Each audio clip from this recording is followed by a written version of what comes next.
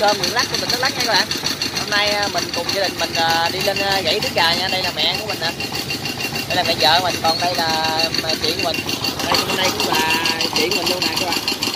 Hiện tại gia đình mình sẽ đi lên gãy tứ trà hôm nay nhé các bạn. Và cái đoạn đường, hôm nay mình lên gãy mình sẽ quay cho tất cả các bạn và mọi người cùng xem chung với mình nha. Đây các bạn. Ở đây, sau lưng mình hiện tại có một con voi rất là to luôn, đang chuẩn bị đi đến khu du lịch tặng chở khách du lịch này các bạn. Sau đây à, mình à, sẽ quay đoạn đường mình đi lên gãy à, cho các bạn và mọi người cùng tham quan chung với mình nha.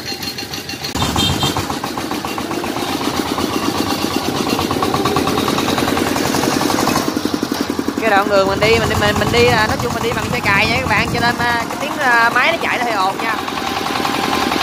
Đây là quanh mình đang máy xe cài nè. Cho nên mình đang đi xe cài, tiếng máy nó hơi ồn các bạn thông cảm cho mình nha.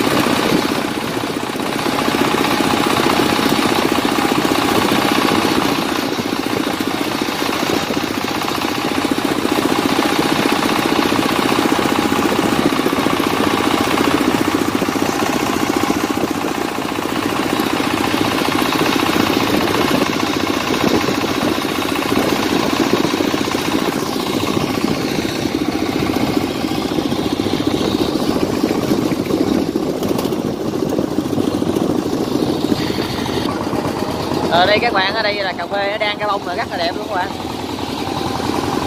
Nguyên vườn cà phê luôn.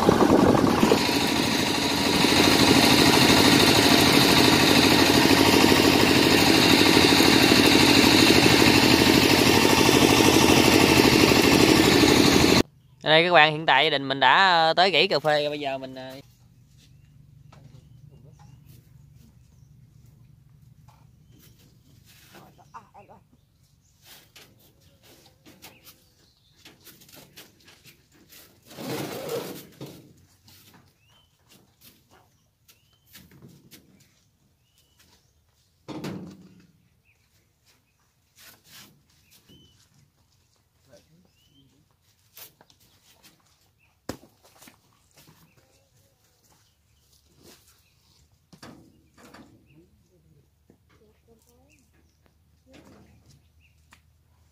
rồi kiểm tra là từng người ta rồi thôi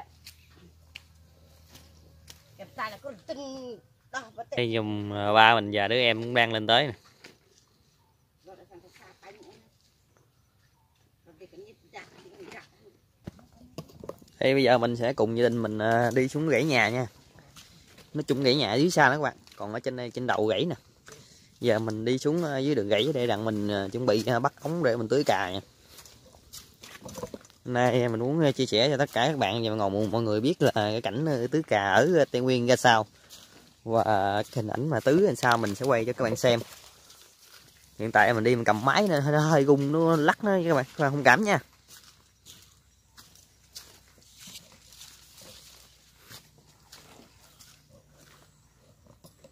đây mình vừa đi mà mình cũng vừa dắt đồ với các bạn cho nên mình không có quay gọi cái máy nó hơi lắc cho các bạn thông cảm cho mình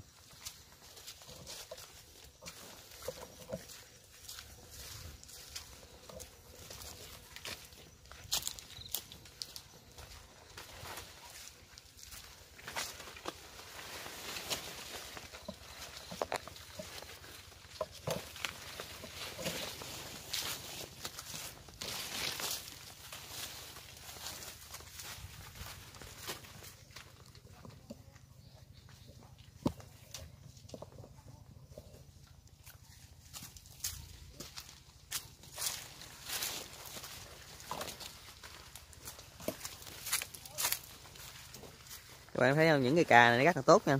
Nó đang chuẩn bị ra bông nè. Đây, những cái búp này là những búp bông nha các bạn. Chuẩn bị nó chỗ bông hết nè. Còn dưới đây chân mình là cái đường ống nè. Đường ống đang đi xuống suối, đặng mình tưới cà các bạn.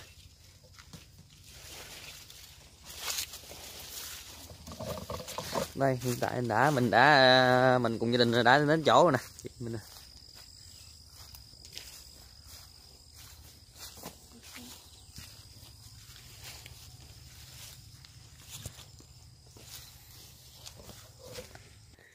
đây các bạn. Đây là những cây cà con mới được một năm nha. Thì hiện tại cái bông rất là nhiều luôn nè. Thôi, mình lấy nét xa cho các bạn xem nè. Một năm mà đã ra bông rất là nhiều luôn. Còn những ờ, cây cà, cho nên là những cây cà đã lâu năm rồi. Đây. hiện tại ở đây là đất nhà mình nha, của ba ba mẹ giờ nè.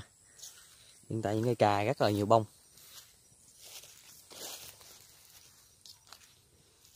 Đường dây mình kéo ờ, ống tới đây nè đang chuẩn bị hồi mình à, bắt ống mình tưới cà coi.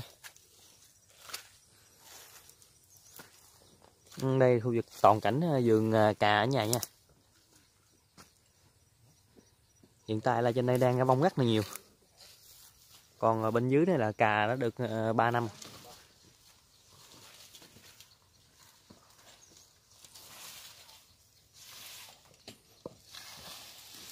Ừ, đây là những cây cà của vườn nhà, nó đang ra bông cho nên cần phải à, có một lượng nước tưới à, nhất định nó mới à, đậu trái nha các bạn. Ừ, cái này cái bông rất là sai luôn nè, mà nó thiếu nước nè. Còn ở đây là những trái cà của đợt trước ngồi sót này nó đang chín nè. Đây các bạn, giờ mình với anh ông anh mình sẽ đi xuống suối rồi và gắp máy vô túi cà nha các bạn.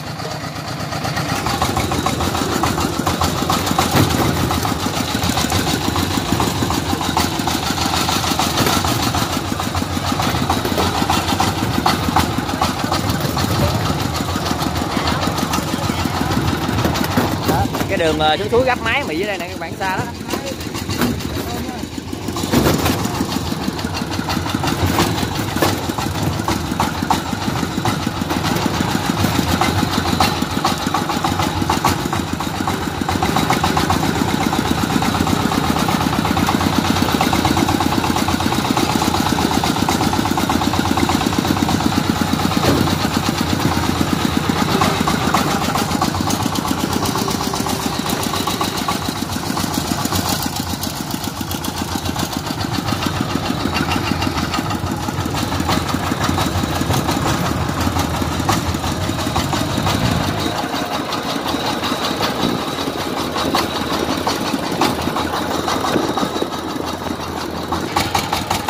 đây các bạn hiện tại mình mình với ờ, anh ba mình cũng đã đi xuống ờ, tới con suối nè.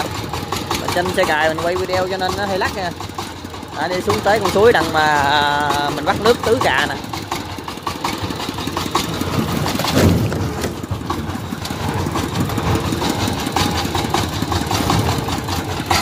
Đây còn bên đây là hiện tại là ông bác cũng đã vừa mới tưới xong này hiện tại đang cuốn ống về này các bạn. Chuẩn bị cuốn ống về nè. Giờ tới à, anh ba mình, anh à, này anh ba mình nè sẽ à, chuẩn bị bắt đầu là bung ống ra để mình kéo mình tưới nha các bạn. Còn à, bên dưới đây là con suối để mình lấy nước mình tưới cà này toàn bộ con suối à, đây là của thị trắng mình các bạn, để lấy nước tưới toàn bộ những đám cà ở khu vực bên trên đây các bạn. Những khu vực bên trên đây nè. Và tất cả những khu vực lân cận luôn các bạn đều à, lấy nước từ con suối này để tưới cà nha các bạn. Sau đây giờ mình à, với anh ba mình phải chuẩn bị à, mình ống và nổi dây để mình truyền nước lên trên gãy để tưới thôi. Cái con suối đây là hiện tại là con suối mà để mình lấy nước mình tưới cà nha. Nước rất là trong luôn. Tại năm nay mùa nắng khô hạn nhiều cho nên suối đây nước không có nhiều nha. Chứ hồi, mỗi năm các bạn nước là tới đây nè, các bạn thấy cái mí đất nó lở đúng không? Trước nước là lên tới trên đó đó mà những năm nay bắt đầu nước ít lại rồi à, tháng này khô hạn nhanh nước à, nó không có được nhiều nha. Đó, còn bên đây là ông anh của mình hiện tại đang gáp máy chuẩn bị là mình lấy nước à, tưới cà nè. Đây các bạn biết mọi người đắp đá này để làm gì không các bạn? Đắp đá để, để cản nước cản bớt con nước để đặng đưa nước vô trong bên đây các bạn. Đặng đưa nước vô trong con đường nước bên đây chạy đặng hút lấy nước đặng mà tưới cà nè. Nước rất là trong và mát luôn.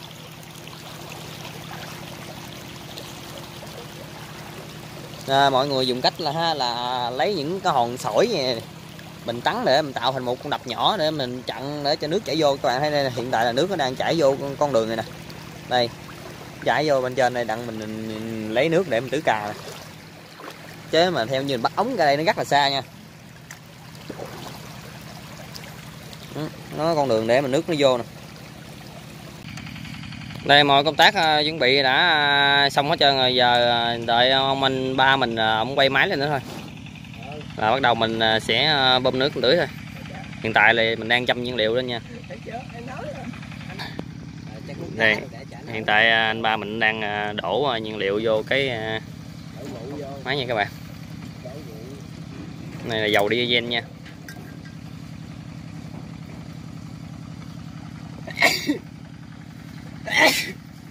đây, mọi công tác chuẩn bị à, đã à, hoàn chỉnh rồi nha các bạn bây giờ bây giờ mình cần quay máy lên thôi.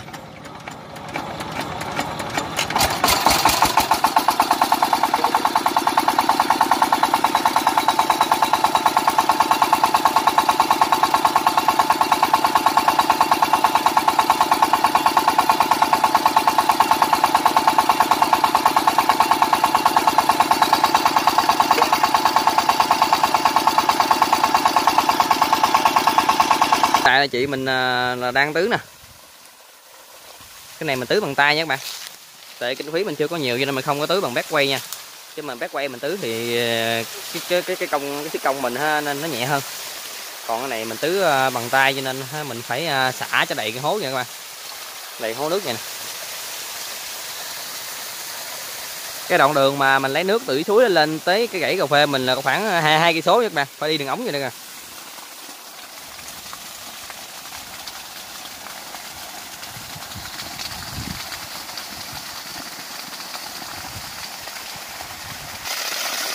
Ờ, à, tại, tại đây các bạn thấy không? Một ờ, hố cà phê mình tưới cho nó đầy hố các bạn tại cái dùng trên đây là cao lắm. Hiện tại mình đang ở là một trình cái đồi rất là cao luôn. Nên để lấy được một lượng nước để tưới cho cà ha rất là khó rất là cực luôn các bạn. Ờ, nên một hố cà mình bơm đầy cái hố luôn các bạn. Nó sẽ rút xuống dưới cà. Hiện tại cà nó thiếu nước các bạn cho nên nó hơi vàng lá. Nó thiếu phân nữa. Có một số cà là nó đã cái bông. Còn ờ, một số cà còn lại là nó đang ra búp bông nữa các bạn. Cái này là búp bông à. em lấy nét cho các bạn xem có. Đây là cái búp bông đó rồi.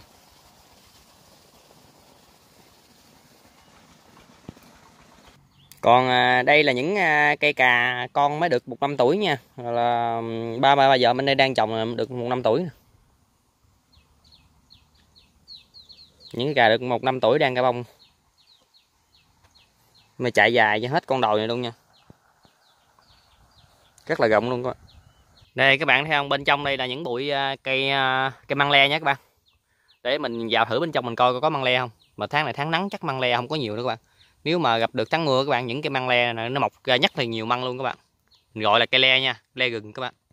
Để mình sẽ đi vào trong mình coi coi có măng không. Đây các bạn.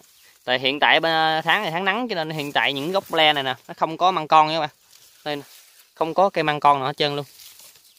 Nếu à, những ngày này vào tháng mưa á, là ở dưới gốc những cây le nè, nó sẽ mọc măng con rất là nhiều luôn. Còn tháng này là tháng nắng rồi cho nên không có à, măng con nhiều. Đây các bạn, bên đây là những à, cây măng le nè. Nãy mình chui bụi mình coi là hiện tại không có măng nè. Đó, là những, đây là những mục măng le nó vừa lên nè. Đây các bạn, từ nãy giờ mình đi lùng sục ở trong những cái bụi lùm này, cuối cùng mình cũng tím được một cây măng le các bạn. Đây đây là cái mục măng mới mọc lên nè mình quay cận cảnh cho các bạn coi. Bên trong đây có một một cây nữa nè. Trong này cũng một có một cây nữa. mấy tháng nắng này các bạn là kiếm cái măng le này rất là khó nha. Nên mình kiếm được uh, hai cây nè. Giờ mình sẽ nhổ lên cây này lên trước đi. Khó nhổ lắm các bạn. Nằm sâu bên dưới đất á. Giờ mình sẽ ờ, rào mình lấy một này trước đi đấy, này cũng rất là khó không các bạn?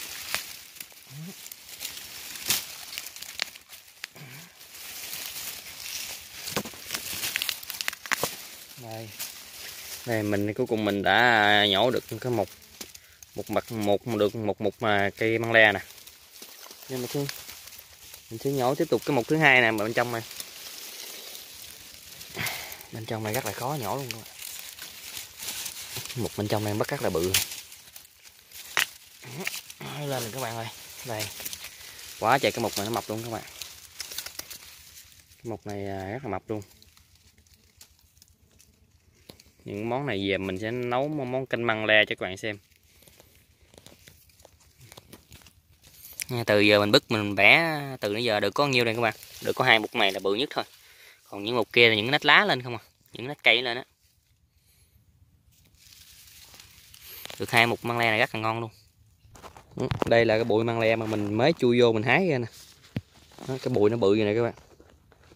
Gọi là măng le gừng nha các bạn. Măng này ăn rất là ngon. Mình nấu canh cá rất là ngon luôn. Đây các bạn đây là những cảnh cây cà phê con nó đang ra bông các bạn. Cà phê này được cũng năm tuổi nè. Hiện tại nó đang cho bông rất nhiều luôn. Hồi nãy mình gặp cặp gừng các bạn. Một à, con gà gừng à, một con gà mái mình à, vừa mới dở điện thoại lên mình cũng quay mình quay không kịp các bạn. Nó bay cái hù.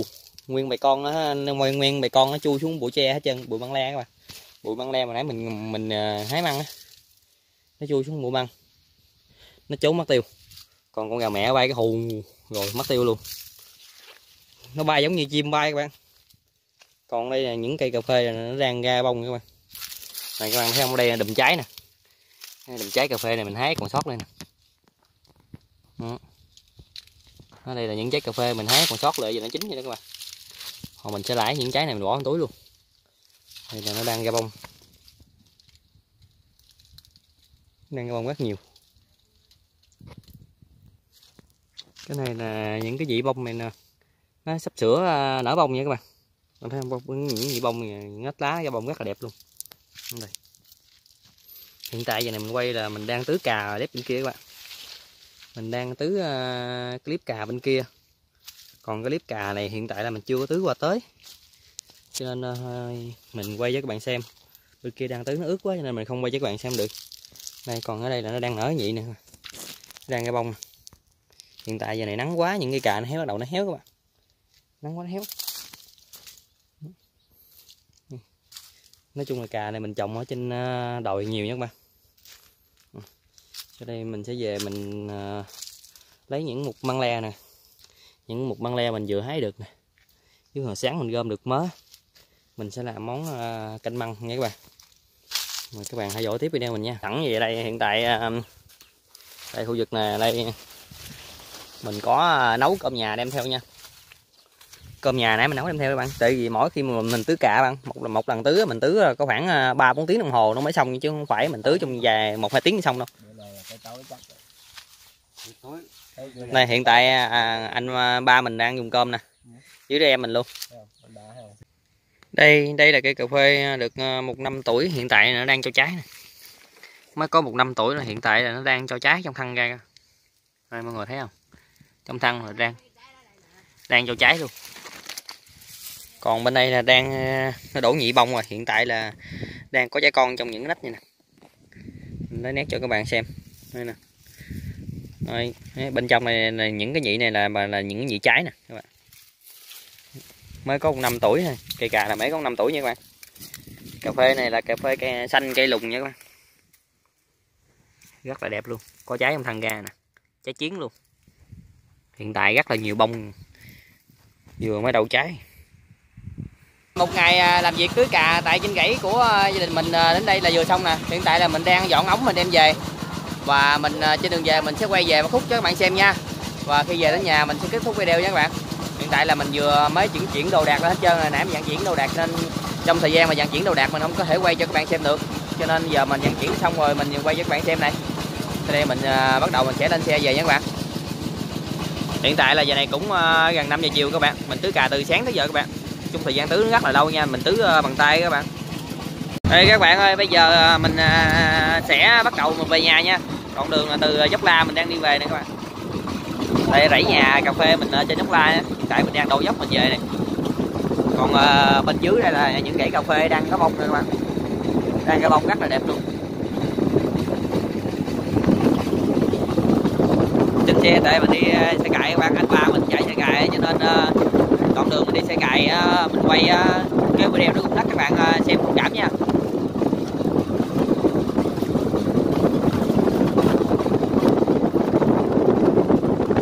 đây đây là những trái ờ, me gừng hồi nãy mình hái này các bạn còn về, về nhà mình sẽ review thêm cho các bạn xem nha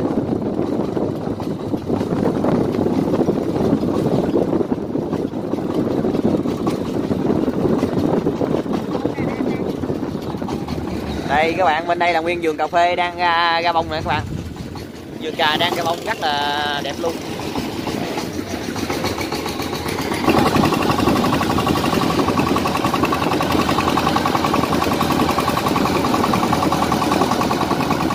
Ở nhà xe cày lái chỉ có mình anh ba lái được thôi nha các bạn chứ nhà không ai biết lái chiếc xe cày được chứ các bạn.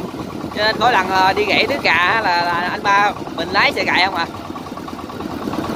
à, lệ tới suối rồi cũng phải cũng phải ờ, gắp máy vô mà để ờ, à, truyền nước lên gãy để mới tưới được nha các bạn.